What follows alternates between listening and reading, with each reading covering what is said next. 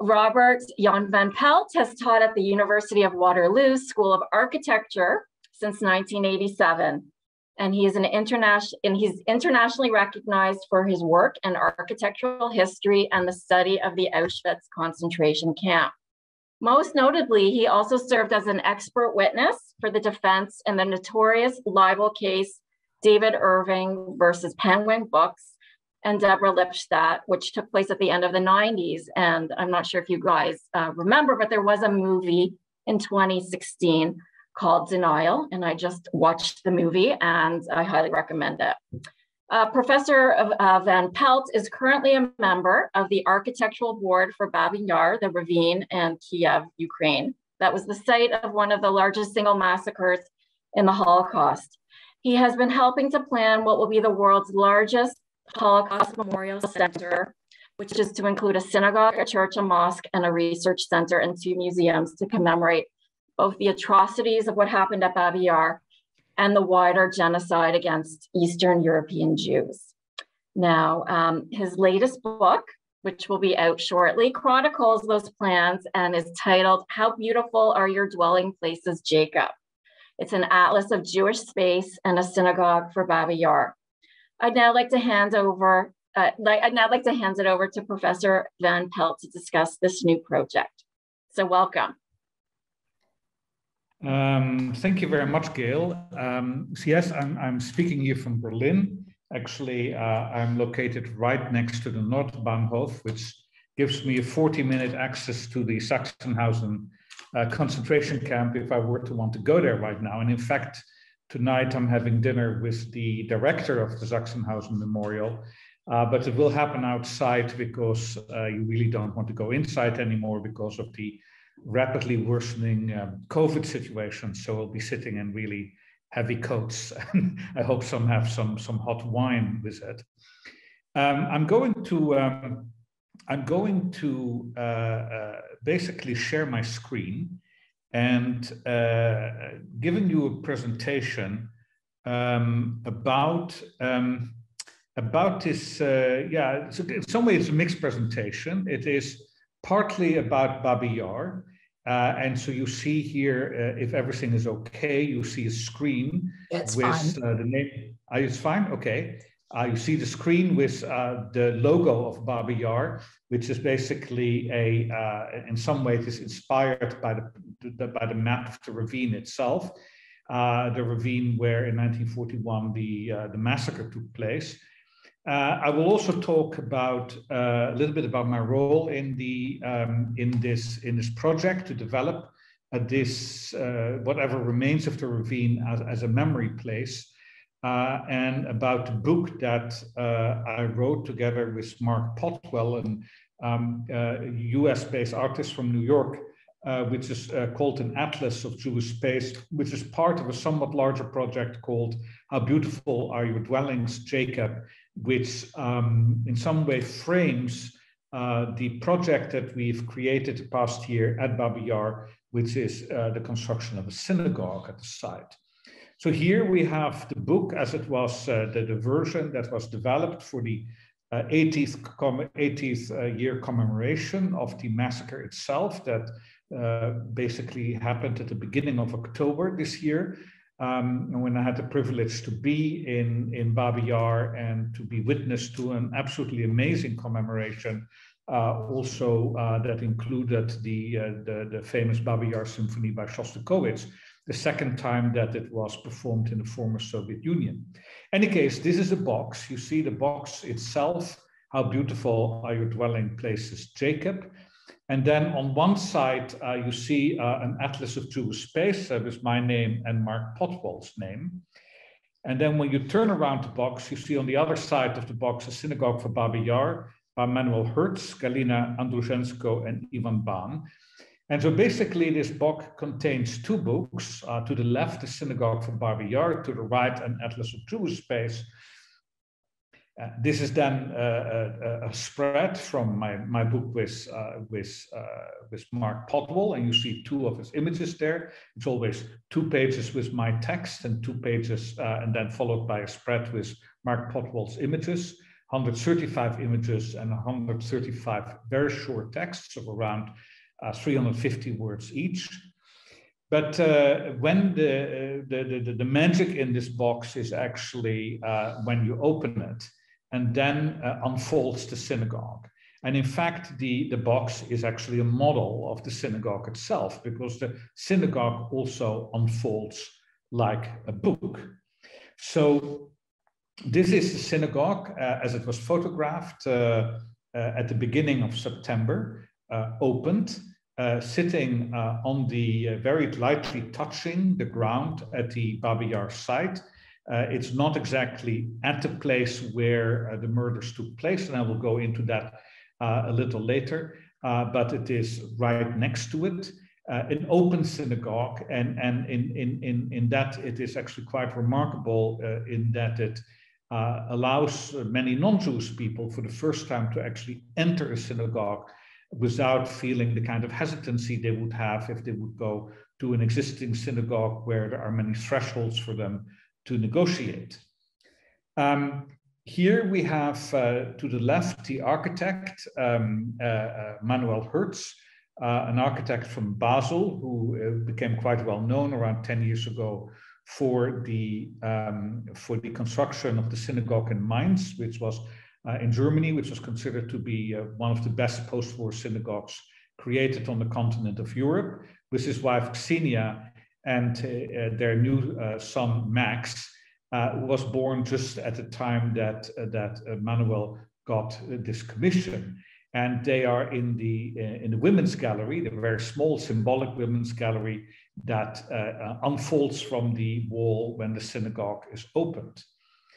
Um, so the synagogue uh, is a wooden synagogue that stands in the tradition of the wooden synagogues that uh, that uh, existed in what's today Eastern Poland, Belarus, southern Lithuania, and Ukraine uh, uh, in the 18th and 19th century and which were destroyed either during the uh, Russian Revolution, the pogroms that followed it, and finally during the Holocaust. This tradition of the wooden synagogues of Eastern Europe uh, is, a, is a singular achievement uh, in the history of, of Jewish art. There is really, uh, one could say it is the only um, architectural tradition within Judaism uh, that that that was that in some way is without really any parallels in the Christian tradition. And here we have an image of one of those synagogues in a drawing by Mark Podwal uh, that uh, uh that uh, that in some way preserves the memory of of this particular one. Now, when we set out to um, to conceive of the synagogue um, and, and we had identified Manuel as, uh, as our architect, and, and everything went very quickly. All, all, all went within two weeks. Uh, uh, at the beginning of October, I suggested to the architectural board that we would that we would construct a synagogue, and two weeks later, Manuel had the commission.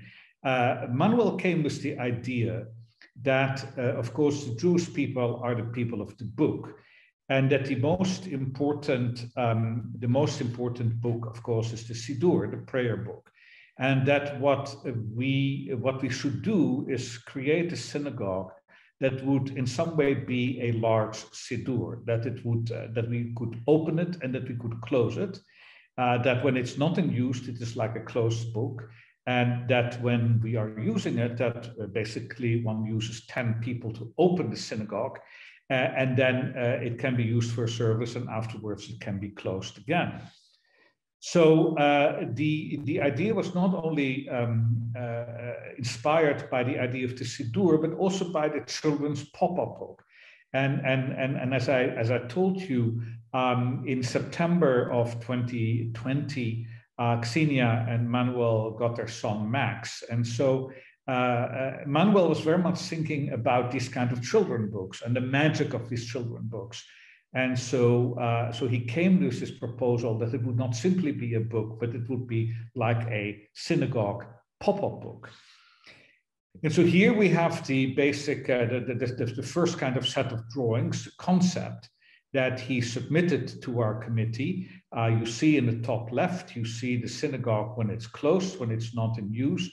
And then uh, it can be opened, the, the, the, the walls can be uh, basically moved away from each other.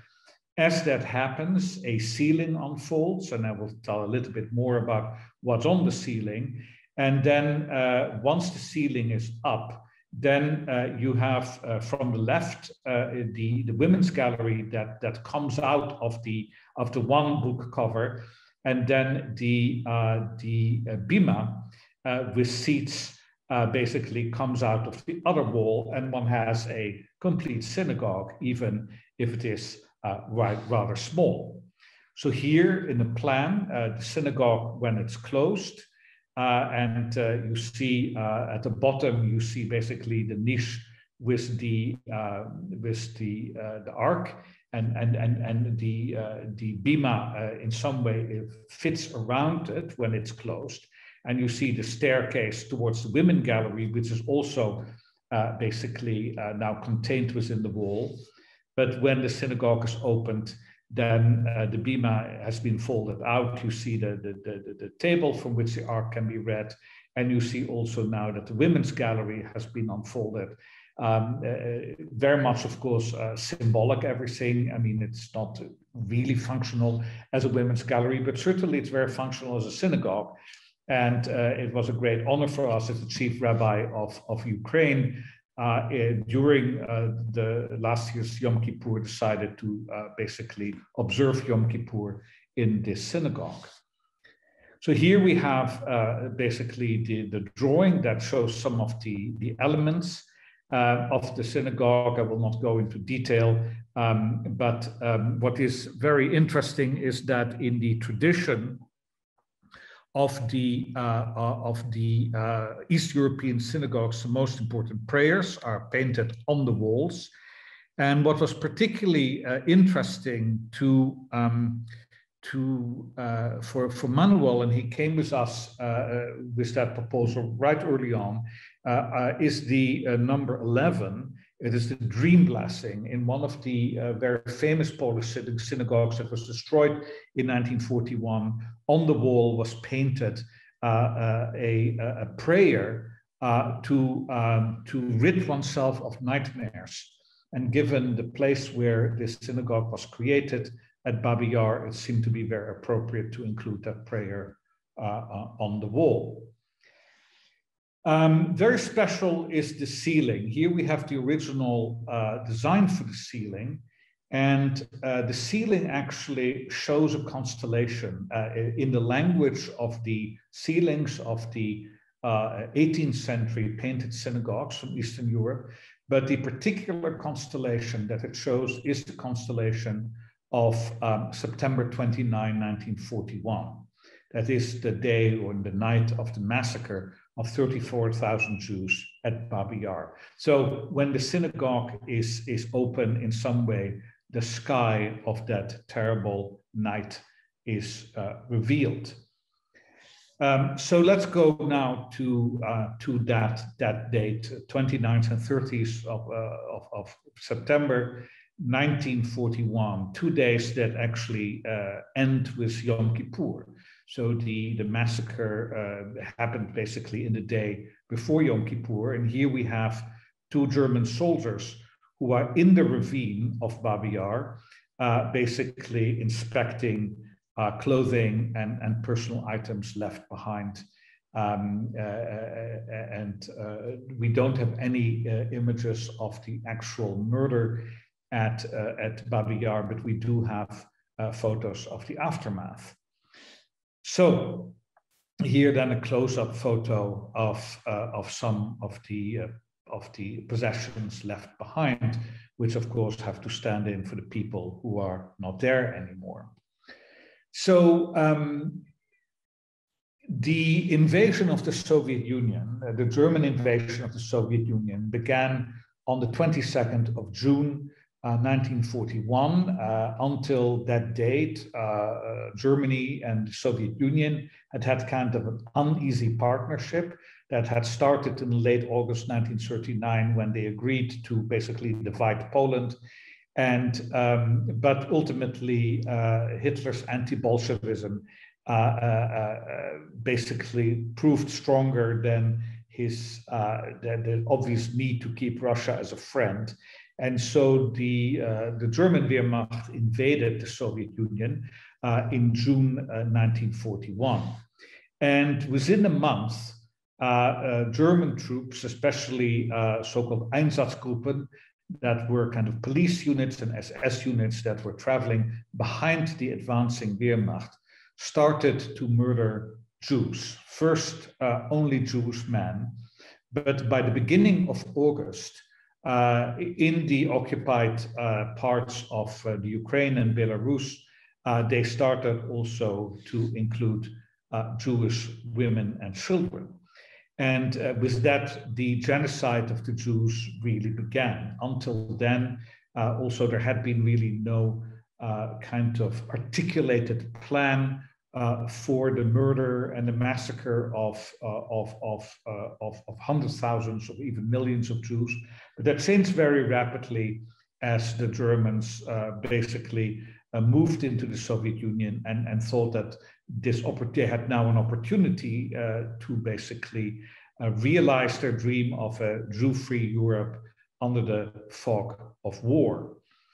So the, uh, uh, the city of Kiev, which is the capital of the, at that time, the Soviet Republic of Ukraine, uh, the city of Kiev was conquered uh, at, the, at the end of September, and second half of September. And uh, uh, initially, um, uh, the city seemed to surrender without much trouble. But then there was a large explosion in the city uh, created by Soviet partisans, and and and the, and the, the German rule immediately became very uh, violent.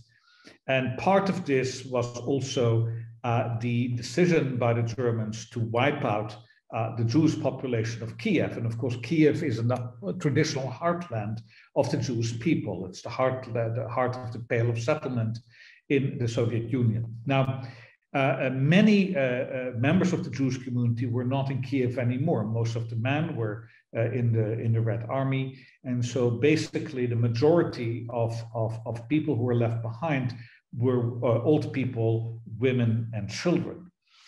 And um, so here we have a German map of Kiev from 1942. So uh, it is located on the west bank of the Dnieper River. Uh, it's navigable. You can uh, basically uh, ocean-going vessels can go up to uh, to Kiev, and um, you see more or less in the center of, of the picture the old center of the city that goes back uh, more than a thousand years. It's also the beginning of Christianity in Eastern Europe. But when we're looking in the top, um, in the top uh, uh, left quadrant, uh, you see the area that is indicated by our pink kind of, uh, of, of, of, circle. And this is a ravine that, uh, that, that had been always uh, at the edge of the city. This is the ravine of Babi Yar. And this was located right next to an old Jewish cemetery uh, here we have the ravine after the massacre when, uh, when captured Soviet POWs are basically um, cleaning up uh, uh the, the mass grave, so to speak. And um, this, this ravine became the place of the execution. Now, I will not say that much about it right now, except that 34,000 Jews were murdered in a 24 hour period. Uh, after that, the ravine became also a place where, at, uh, at some occasions, uh, a number of Orthodox priests were executed. Uh, also, uh, uh, in 1943, uh, some Ukrainian, non Jewish Ukrainian Uh, resistance fighters uh, and Ukrainian nationalists were, uh, were murdered. And then after the war, the Soviet government decided really to ignore what had happened in the ravine. There was no memorial was there created. And the ravine, the Babi Yar ravine itself became a quarry for clay uh, that was going to be used to produce the bricks uh, that ultimately was going to uh, uh extend the city uh, to create new housing for the city. So you see the buildings in the background. Uh, they're built with bricks that are actually harvested from the clay that is in the ravine of Babi Yar that you see right in front. Um, one of the uh, Soviet technologies to actually harvest the clay was to pump water into the ravine. There was a dam, and you got a kind of a big mix of clay and water. It became a kind of a big mud, sea of mud. And uh, what happened in 1961, that the dam broke, and this mudslide happened, and it uh, first of all destroyed the contours of the ravine completely because uh, in some way the ravine collapsed into this kind of bath of mud and it also um, uh, killed uh, around 1500 people who lived downstream from the uh, from the dam that had broken and uh, this was another catastrophe that basically was unnamed and unmentioned at Babi Yar. So in 1961, the same year that the uh, that the uh, that the catastrophe happens with the mudslide, Yevgeny Yevtushenko publishes this poem uh, that describes the situation in Babi Yar. No monument stands over Babi Yar. A drop sheer as a crude gravestone. I'm afraid. Today I'm as old in years as all the Jewish people. Now I seem to be a Jew here I plod through ancient Egypt. Here I perish crucified on the cross. And to this day I bear the scars of nails. Uh, the story of Babi Yar really, um, re in some way, uh, became known for the first time in the mid 1960s uh, as a result of a novel uh, uh, entitled Babi Yar that was translated in many la languages, inclusive English, and it was originally forbidden in the Soviet Union and heavy, heavy censored. But it was this novel that, in some way, brought the name into uh, into kind of public discourse. And so here we have a detail of the the current site of Babi Yar. Um, and I'm again going to show where where the place is. And you see that today um, Babi Yar is actually a public park that is now uh, in some way in the middle of the city. Not, it's a little bit at the periphery, but basically uh, uh, there are neighborhoods all around it. So it's not anymore of the edge of the city as it was in 1941. And um, I'm just going to show you some pictures. Uh, it is an enormous site. It is around 120 hectares large. And so it includes a formal park, uh, which is closest to the major roads. And here we see uh, the, the, the, the, the, formal garden um, that is close to the metro station that is there. Um, then uh, there is also a large kind of uh, more wooded area uh, where you can easily get lost. I've lost, been lost there. It's a place where families picnic and go out for, for, for Sunday afternoons and so on. Uh, there are some soccer fields there. There's a lot of mountain bike riding happening in this area. And then you have also ravines that in some way are leftovers of the uh, pieces that are leftovers of the original ravine. But as I told you before, that original ravine was re really collapsed in 1961. So uh, this is not exactly the contours as they existed in 1941. So uh, if we're looking at this map, we see here uh, the, the, the, current, uh, the current um, basically urban plan. And you have in red that kind of buried reality of the historical ravine of, of 19, uh, 1941. It, it's not really visible anymore, but it is, you know, it can still be traced if you want to do it. And it's a lot of work. And we see then in these, that, that, that old ravine, uh, basically is, you know, it's not really recognizable today in the site itself, but, uh, but, but it's still there in a sense as a ghost. And you see then all the um, red dots with numbers, uh, which are uh, either monuments that have been created, or if we're looking at the um, top right of the plan, you see numbers 12, 14, and 15, uh, this is actually the largest psychiatric hospital in uh, Europe. Uh, it's falling apart right now, but it's a very important psychiatric hospital still in the Ukraine. It's also the largest one in the Ukraine by implication. And it was actually uh, the, the massacre started uh, when the Germans started to murder the patients of this hospital, uh, which, which, which introduced in some way the murder of the Jews. So it is a, it's a very important site also in Babi Yar.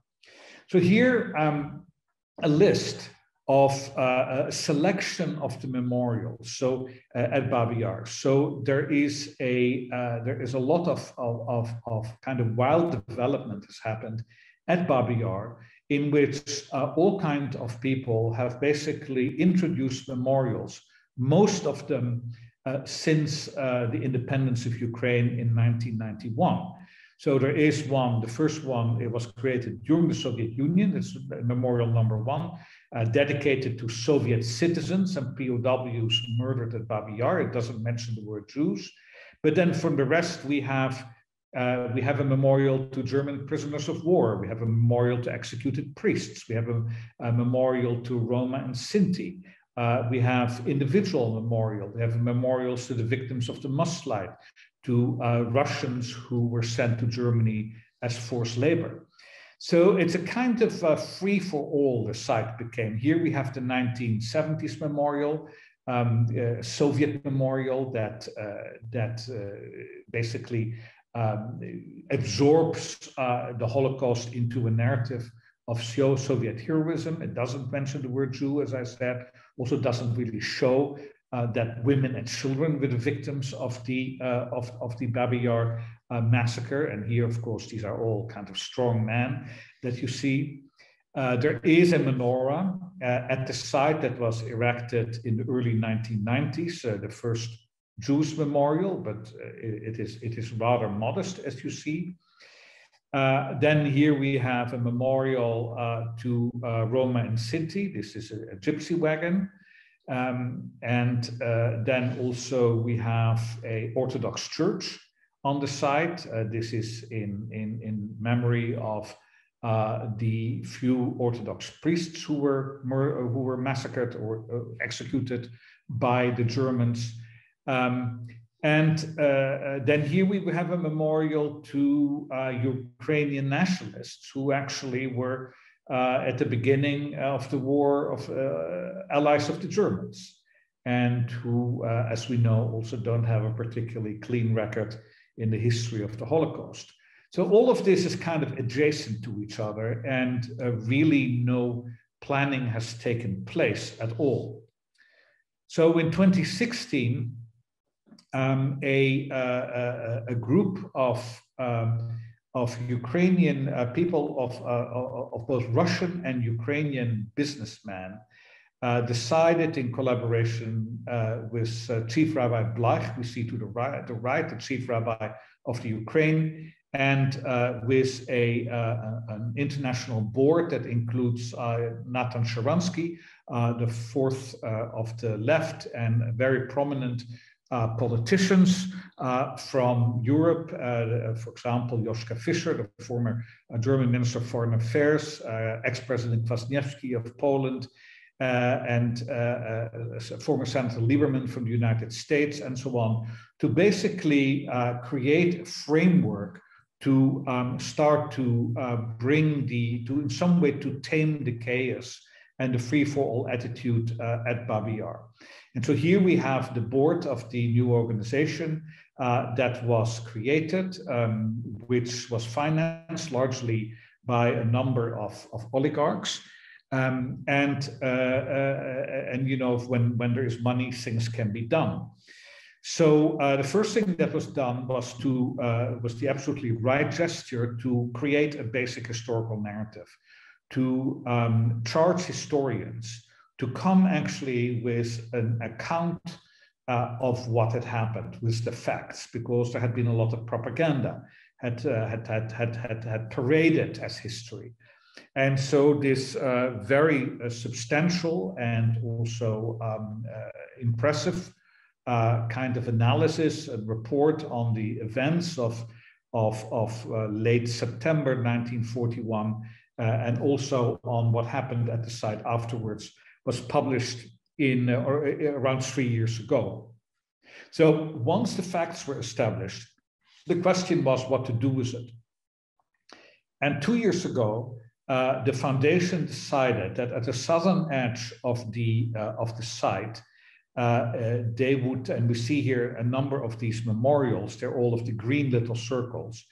Uh, a museum would be built, a very large museum. There was no collection for it, but the idea was that this museum would become a Holocaust museum relating specifically to the site, but also to the Holocaust of, uh, of, of the Jews in Eastern Europe, and that in size and importance, it would basically compete with both Yad, Yad Vashem in Jerusalem and with the United States Holocaust Memorial Museum in uh, Washington, D.C. And, and, and, as I said, uh, the one issue that uh, the uh, Babi people didn't face was a lack of funds. So a competition was held and uh, a competition brief was created and uh, the first prize went to a architecture firm from Vienna, Austria called Querkraft, which uh, basically um, proposed a museum that was going to be underground. And of course, this is, it's an enormous museum. I'm going to, to show you um, some images here of the approach to the museum uh, through the site, uh, really nice architectural uh, drawings. And uh, here, uh, the, the museum itself as it, as it descends into the ground. But of course, Babi Yar is cursed ground. It is ground where you know there are many questions about also what is, what is original, what is not. Uh, uh, we do know that the human remains uh, uh of the victims of the massacre um, in 1941 had been removed by uh, by subsequent uh, German actions. but still, there's also the mudslide. It, it, it, it, it was really kind of a very problematical um, a proposal to create such a enormous uh, architectural structure that was going to basically penetrate into the ground. So two years ago, uh, or a year and a half ago, um, Ilya Khrzhanovsky uh, took over um, uh, basically as artistic leader uh, of the Babi Yar uh, Foundation. And he is a brilliant Russian filmmaker um, who uh, has very strong ideas of what, what should happen and what should not happen. And um, he decided to uh, cancel the whole museum project. Um, he, uh, he created a lot of controversy because um, he, uh, he, at a certain moment, uh, was accused, and this is a New York Times article, uh, that he wanted to create a kind of Holocaust Disneyland in um, in in Babi Yar, which I think is a uh, a, uh, kind of story that that got its own life and which I thought was really quite unfair to him. Uh, he very much, uh, as a filmmaker, wanted to create conditions in which uh, visitors to the site would uh, would have some experiences that are out of the ordinary. That would not be uh, the everyday experience you have when you come there as a uh, as a uh, as, as a visitor to play soccer or to have a family picnic. Uh, and so um, in, in May 26, 2020, a year and a half ago, this article appeared in, um, in the New York Times, which, um, which uh, you know, in some way suggested that this was going to the be the future of Babi Yar. And this was more or less also the time that I got involved, and, and I had to really, um, you know, decide if if I was going to be part of this project, given the kind of negative um, publicity that was all around it. Um, I talked with Ilya, I talked with other members, and and became member of a new board that was created by Ilya. Uh, Ilya asked uh, an, an, architectural critic from Amsterdam, originally from the United States, Nick Axel, to form an advisory committee on what to do with the site from an architectural point of view, because the museum, uh, the, really the museum project had been kind of without any, uh, any clear kind of committee of people who were able to judge it. And so um, we started work uh, in the beginning of September of last year, so in the middle of COVID. Um, and um, in October, uh, during a meeting um, where I just said, you know, why don't we start small and have a very small synagogue at the site so that that it's possible uh, that for for people to pray there. uh, that Ilya just overheard me and said, okay, that's what we're going to do. We're going to build a synagogue. And so this is the synagogue then that is the result of it. Um, so the concept in some way that is, is guiding both the, the, the this particular synagogue as, the, uh, as well as the whole development of the site was really developed uh, in the 1980s uh, by uh, the American architectural educator John Hejduk, who taught at, at the Cooper Union School of Architecture. And um, John Hejduk uh, proposed, uh, this is basically his proposal for a, a, Holocaust memorial at the Topography of Terror in Berlin. The Topography of Terror, uh, which is a site of the old uh, Gestapo headquarters. And he proposed to create basically uh, a site in which over 20, 30, 40 years, small additions would be made and that these would be kind of playful. Um, and uh, uh, so his sense was that, uh, that, that a memorial uh, should be incremental and that also that it, it, should have a kind of almost uh, it, it, should be something that would be understandable he said especially to children so it almost looks a little bit like like a fair if you look at these uh, various kind of uh, these these these buildings small buildings that each become a kind of a character and that tells a story uh, very different from what ultimately was built uh, this is the Topography of Terror uh, Documentation Center of the work of the Gestapo, uh, which was built in, in, in Germany, a gray box on a site that also is completely gray. It is full of gray gravel. And so uh, at the opening, uh, the Architectural Review, which is a major architectural journal, basically commented on what was done as follows at the opening on 5th of May, the 65th anniversary of the war's end, the architect was unwilling to talk about her concept, saying that the building spoke for itself. When asked why everything was gray, the landscape architect's answer was equally enlightening.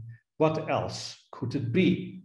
So, a gray box in a gray landscape is, in this view, how a Holocaust memorial should look like, or a memorial to uh, the persecution uh, of, of Jews and other people.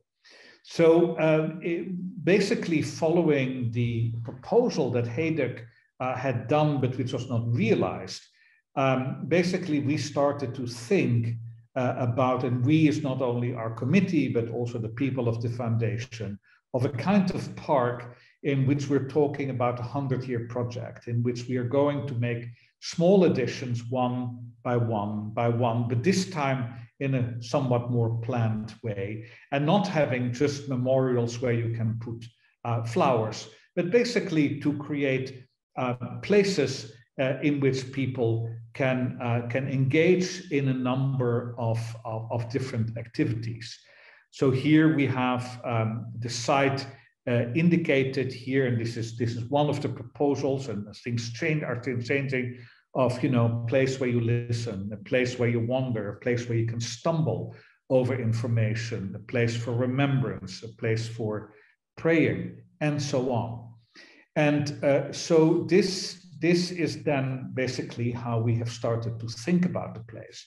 So here we have again the site the 120 uh, hectares that we have we that is the foundation the babi yar foundation controls in the center of kiev this is then the hidden ravine uh, that basically is in some way below there. Doesn't exist anymore, but this was uh, as it existed in 1941. And so uh, the idea is that at the places where the ravine could be entered, there are going to be a number of special places that allow, uh, that, that have a certain theme and that allow basically that theme to be expressed in uh, different ways. So um, uh, I have here, uh, and, and this is not my program, the Sublime. It's going to be dealing with, with, with, ideas of religion, wisdom, roots, and family. This is very close to a place where right now uh, also a lot of picnics take place. Um, inclusiveness, uh, normality, that is actually at the place of the uh, where the terrain of the um, of the uh, asylum begins. And so, of course, these are people who are not included in society and so on. There. And um, this then uh, is going, all these places are going to be connected to a kind of path that is going to, um, that is going to connect uh, these places and that traces the bottom of the ravine as it existed in 1941. And so, uh, in some way, uh, it will be possible then through these different places and the paths between them to start to actually understand the topography of the old ravine. So uh, the place where uh, where we started the work was actually the place where the Orthodox Church was already built. This is going to be a place where uh, all religious activities are going to be concentrated. And so uh, the first project was our unfolding synagogue since the new uh, foundation was formed. So here we have a kind of uh, conceptual construction drawing of the framework of the synagogue uh, as it's fully unfolded. And here uh, a photo which I've already shown you. Now, in order to, um, in order to, um, uh, to in some way help the uh, foundation and especially the architectural board to understand what the issues were at stake, I um, gave a number of seminars on, on Jewish space and to how to conceptualize Jewish space. And this became like a mini course, which we conducted in, in October 2020, in the middle of COVID, all by Zoom. And the result of that basically is this Atlas of Jewish Space. Uh, that uh, that uh, then uh, ultimately uh, Mark Podwal joined me in to basically provide illustrations for both out of his work that he has done over the past 30 years, 40 years. Uh, he's been an illustrator for the New York Times, but also a practicing doctor, a dermatologist. But here, for example, we have um, the spice boxes for the Havdalah. And uh, this image is, uh, is, is uh, for me important. I write a short essay then about the importance of time, that in fact the Jewish, uh, the Jewish tradition is actually not that interested in space, much more about time. And of course, the end of Shabbat is a very uh, important and solemn uh, moment in the week when we move from holy time back into secular time. Or Uh, uh, then the, uh, the importance of the ghetto. That is a, a, drawing of the Prague ghetto. You see all of the church spires at the back. Uh, but basically, how the ghetto created what, what some people have called the claustrophilia, a, a, a love by Jews for small and tight spaces. Uh, it's a, con- a, controversial kind of concept, but uh, in this case, um, I'm using this, this, this concept of, of Mark Podwal to illustrate that. Here, uh, an, an, illustration by Mark Podwal for a talk about the relationship of the six days of the week, when in the, uh, in, in, the uh, language of, of Heinrich Heine, a famous 19th century Jewish poet in, in Germany, uh, the Jews live like dogs. And then on Shabbat, when the Jews live like princes or princesses. And so here, six uh, coats with the Jewish star on it, uh, marking the Jew as a uh, inferior human being, but then on the Shabbat, the star is removed for one day. Or here, uh, again, the idea of time, the waiting for the tenth man in the synagogue, the way that, uh, that in some way in the Jewish tradition, by all kinds of different ideas also waiting for the beginning of Shabbat when the first stars are going to be out and you know always checking exactly what time is the beginning of Shabbat this week. It's not it's not never the same but then the same happens in the synagogue the waiting for the 10th man. So the dimension of time that in some way supersedes that of space or as we have it during the Seder evening when in some way one uh, eats uh, the matzah and one basically participates in the meal as if one were in uh, Egypt and were, uh, uh, were, were liberated oneself um, as our ancestors were uh, in the time of Moses. Um, then very important again in this whole tradition is the, the idea of, of ancestors, the continuity of ancestors uh, of, of, basically one's family tree. And we see here Mark Podwal interpretation of the family tree, the tombstones who are now hanging into this uh, genealogical tree. And uh, again, this, this idea that in the Jewish tradition, um, the, the, the redemption itself is actually uh, expressed in lineage in the relationship of grandparents to grandchildren. That is the promise that God gave to Abraham. Uh, and then dealing with concepts like, uh, in this case, this is, this is a drawing by Mark Podwal of the hometown of his mother, Dambrova.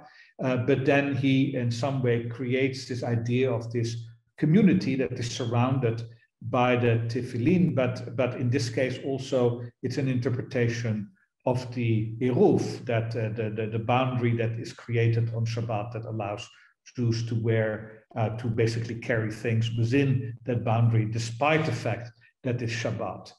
Or here, um, an, a, consideration of the shtetl, the Yiddish shtetl, and uh, the way the shtetl organized itself spatially, uh, which, uh, as Sholem Aleichem uh, beautifully describes in his, in his stories of Kazulevka and later Anatevka in Fiddler on the Roof, uh, as places uh, that have a very unique and unusual kind of arrangement uh, of, of the houses in relationship to the synagogue and to the cemetery.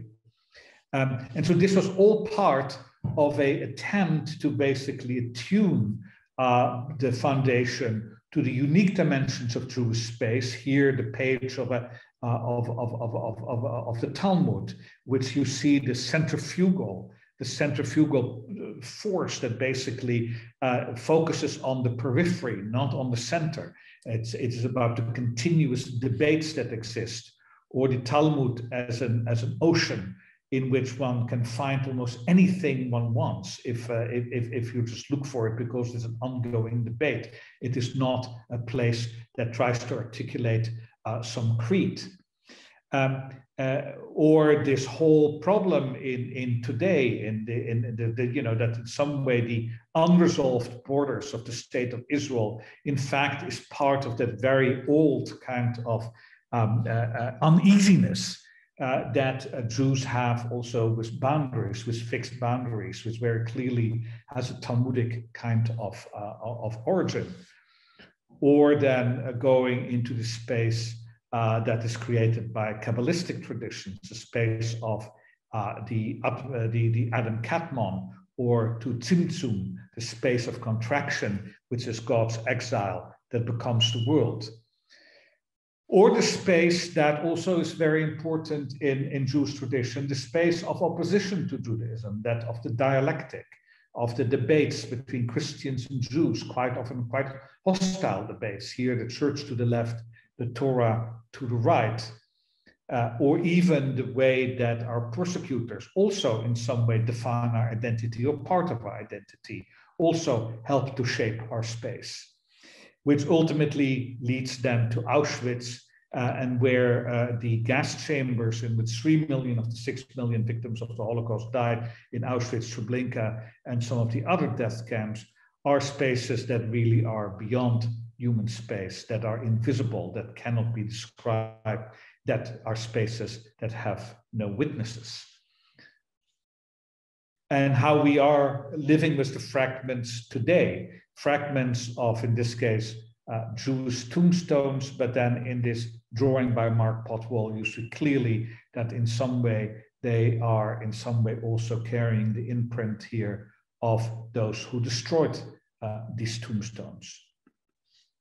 So, and here then the tombstones, uh, which uh, he drew for uh, an introduction to the chapter in which in the book I basically introduced the project to recreate one of these wooden synagogues. Here we see them all in flames uh, during the Second World War, but also uh, during the pogroms before, and then leading to an attempt to rebuild uh, this type of which not a single wooden synagogue existed anymore, it only existed in stories, but to uh, resurrect one uh, at Babi Yar. So this was basically an educational project, and the book is a, is a result of that. It's kind of a, you know, uh, one. Uh, it is a, a 101 of, uh, of, of, of Jewish space.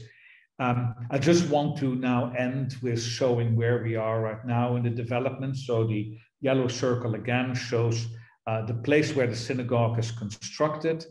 Uh, the next project is actually going to be the administration building of the former Jewish cemetery. This is the place where actually the um, the victims were uh, were ordered to uh, to come on the 29th of um, of uh, September 1941. To the right, we see the gate to the Jewish cemetery. Uh, in the back, uh, we're looking towards the road, away from the synagogue. Uh, the synagogue is around a 10, 15 minute walk from here, but you see the old administration building of the of the um, uh, of the uh, uh, of the cemetery. And here we see a conceptual drawing. It's not going to be like this. How basically we're going to raise the roof, which is not historical, and we are creating an observation deck up there, which allows people to get an introduction to the site as a whole. Uh, and then another project that is almost completed. It is a kurgan. A kurgan is a uh, kind of a mound uh, in the tradition of the Ukrainian burial mounds, uh, that, that, that, that, that literal landscape there. And this actually will cover uh, an enormous scale model of the original site. So you can go under that roof and you can actually see the ravine as it existed in 1941. And it will be possible then, because it doesn't exist anymore, to get a sense of the exact location of the uh, of, of, of the massacre. So uh, this is uh, this is the three places that have the yellow dots are where we're working right now, uh, and we are developing um, basically a concept for the central axis. Uh, and my friend Anne Kamishan, who until recently was the architectural um, coordinator, um, basically had a version of Columbus's uh, saying, in order to reach the east, let's go west. Uh, she said, in order to touch what's below, let's go up. And so, uh, inspired by uh, projects like the High Line in New York and so on, and these kind of walkways through forest, the idea is actually to elevate, and this is in England, an old Roman construction, is to actually elevate um, the path through, uh, through the whole site, to lift it above the existing terrain, so that this idea of the downwards gaze, which is represented in this historical photo, uh, for, for, for people to actually understand the site, one will be somewhat separated from it, but one will look down at the site and be introduced to the history of it. So this ends my introduction to Babi Yar. This is then, uh, you know, as it uh, as, as the site will uh, I hope exist 100 years from now or 50 years from now. And I'm very happy to answer any questions. Thank you Robert, very much. That was absolutely fascinating, including the analysis of the thinking that is going into it. Um, I'll encourage people to put questions in the chat. Can I ask you to comment? Um, you know, the authorities, the Russians, the Ukrainians, did not want to admit to Babi Yar existing for many years. And how was their mind changed? How did that change? And uh, where do you see that position nowadays? Now, the so the, for the Soviet Union, for the Soviet Union, um, the whole Holocaust was a problem. I mean, they they they never really uh, uh, they they always talked about the, the Second World War. This was the Great Patriotic War. There were uh, millions of of Soviet citizens who died, or citizens of other countries but they were never willing to basically recognize that the murder of the Jews, of six million Jews, or for that matter, the genocide of between 500,000 and 1.5 million uh, Roma and Sinti, were had a special dimension, that they were genocides, that they were not part, you know, let's call it ordinary war victims. Uh, in some way, they, they scooped all of the civilian, civilian victims up into the anti-Bolshevik uh, uh, kind of uh, war of the Germans, the Hitlerites, as they were called, against the, the Soviet people. In 1991, this changed because, uh, first of all, we have now the Soviet Union, the communist state collapses. We get now a number of national states that come out of it Russian Federation, uh, Ukraine, Belarus, uh, Lithuania, and so on. And now it becomes possible for the first time to basically start to um, to, to, to, to uh, certainly in the Ukraine and also in, in uh, I think mostly in Ukraine, to look more honestly at what actually happened. That the war against the Jews, as Lucy Dawidowicz called it, was very different in its scale and its intention uh, than the war uh, of the Germans against uh, the Ukrainians in general, against the Russians, and so on. And um, the Ukraine certainly, uh, I would say, uh, compared to the other post-Soviet states, has probably gone farthest in, in correcting this fundamentally misguided way of looking at the history uh, of the Holocaust in Eastern Europe. And uh, you know, right now it has a president uh, who is Zelensky, who is who is you know a Jewish man. He is basically his his family was was uh, survived uh, the Holocaust in Ukraine, um, uh, and uh, also there is a real, I think, desire in significant parts of the Ukrainian civil society to get this right. Doesn't mean it's without problems. Doesn't mean it's without struggles um, there are also parts in the Ukrainian nationalist movement that that basically uh, has a sense of discomfort with it. But right now, there is clearly the political will in the in the society at large, and also the political leadership, to basically. Um, uh, basically, and, and in some way, it's also a ticket to the West. It's a ticket to be accepted in Europe. Ukraine wants to become member of the European Union uh, when the European Union saw itself uh, confronted in uh, after 2000 with the applications of Poland, Romania, Bulgaria, other East European countries uh, to become member of this very exclusive club, they basically made the European Union made the condition that these countries would in some way come to terms with its history during the Holocaust. And one of the aspects of that is that a precondition for admission into the EU that the country accept January 27th, that is uh, the day of the European uh, Holocaust Memorial Day, as a national holiday of commemoration.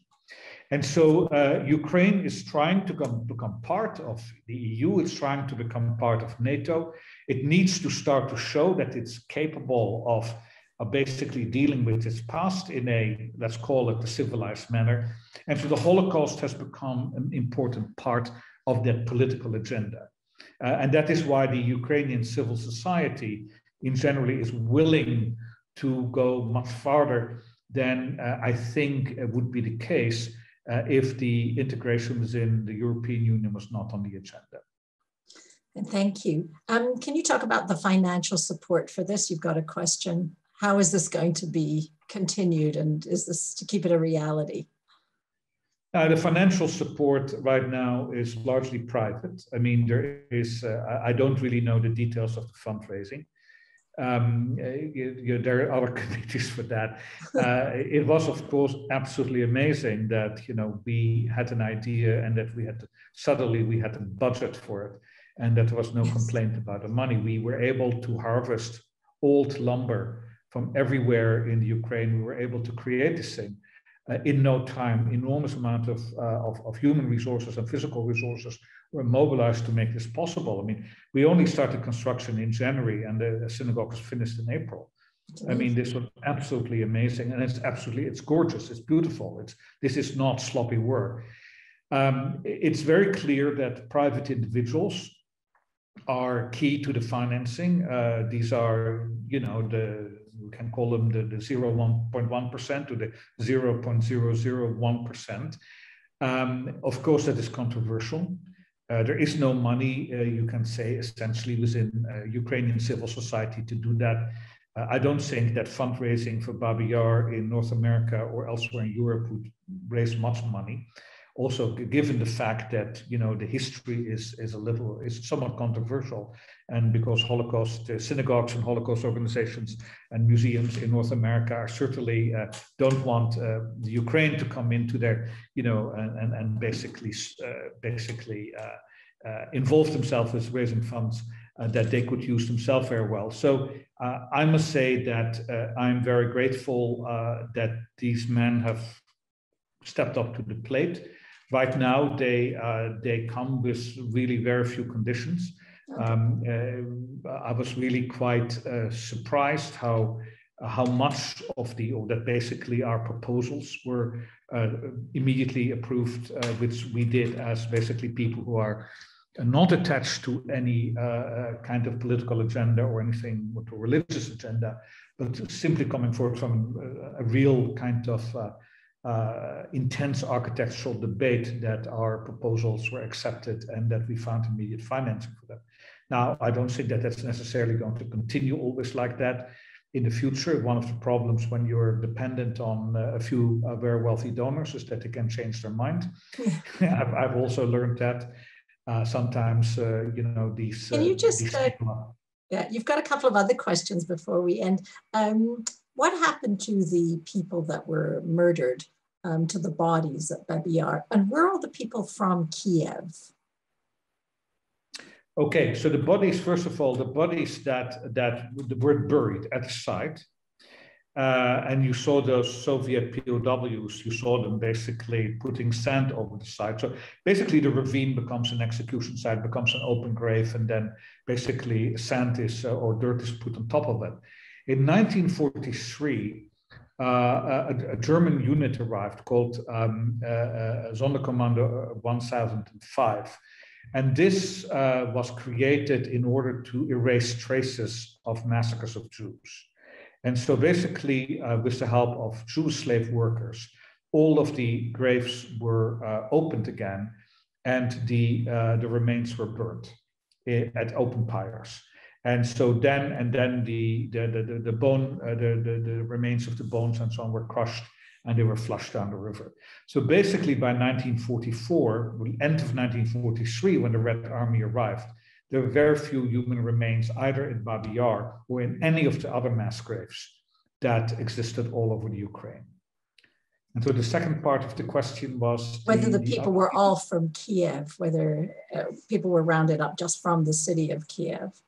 Yeah, these these are not uh, at the scale that Jews were were rounded up. I mean, these tend to be much smaller, targeted executions. You know, in the case of of Babi Yar, the Babi Yar massacre, we talk about 34,000 men, uh, mostly old men, women, and children, who were murdered uh, in a 24-hour period. When we talk about uh, the murder of, of Ukrainian nationalists or priests or so on, we talk uh, each time about dozens of people, but not about this enormous uh, enormous uh, scale of the operation that that that characterized the, the murder of the Jews.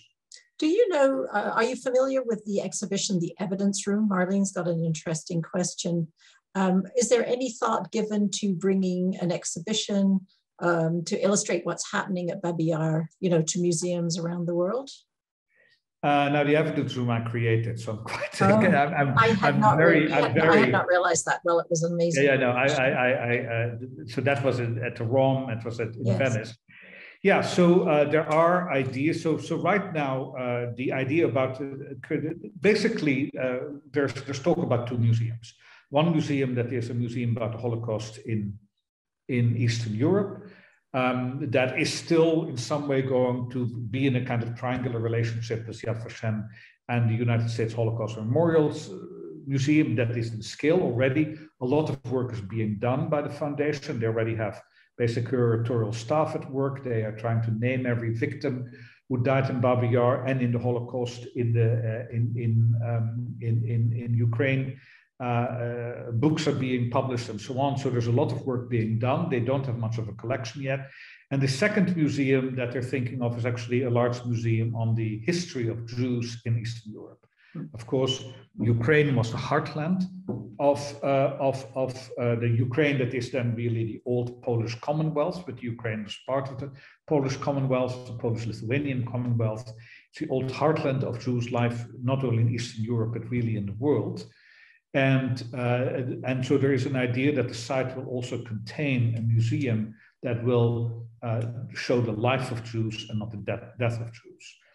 Uh, as far as the foundation going to send exhibitions into the world, right now I think that they're pretty stretched with uh, what they are doing. Uh, certainly, um, I think that uh, that uh, for the time being, I don't see uh, kind of ready-made exhibitions uh, to, to leave Kiev to arrive in Toronto or other places. Well, it's been absolutely fascinating. I think we could carry on talking for ages. I'm going to say thank you so much because we're sort of out of time. Um, to you, Robert, for an outstanding presentation, really. Um, I hope people will buy the book um, when it comes out at the end of January and uh, really hope that maybe you will join us again. I also want to thank Gail Kurzman, who runs all the special events at Beth Tikvah, for doing an amazing job in putting this program together. And I hope everyone will continue to join Classi Lectures as we bring history to life for uh, our audience. And um, thank you again very, very much.